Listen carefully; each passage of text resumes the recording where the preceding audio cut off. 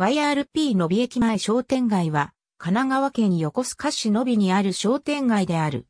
京浜急行電鉄栗浜線 YRP のび駅の駅前に位置し、構成店舗により YRP のび駅前商店会を組織している。頑張ります。をキャッチフレーズとしている。歴史は1963年に、のび駅が開業。5年後の1968年に、のび駅前商店会が発足したことに始まる。現在は52店舗が営業し、横須賀市北下浦地域では最大の商店街である。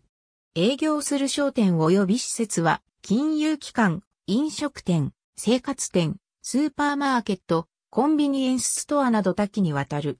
商店街の振興のため、季節ごとのセール、バザール、ノビや、餅つき、夏の盆踊りなどのイベント開催やクーポン券の発行を行っている。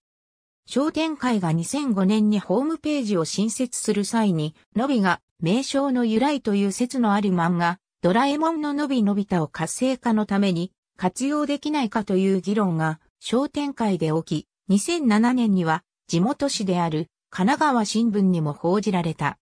ただ、神奈川新聞の記事においても、のび太の由来がのびである点での療養歴があるという説の裏付けは見つかっていないと記されており、のび太の活用は具体化していない。YRP のび駅 YRP のび NTT ドコモ R&D センター。ありがとうございます。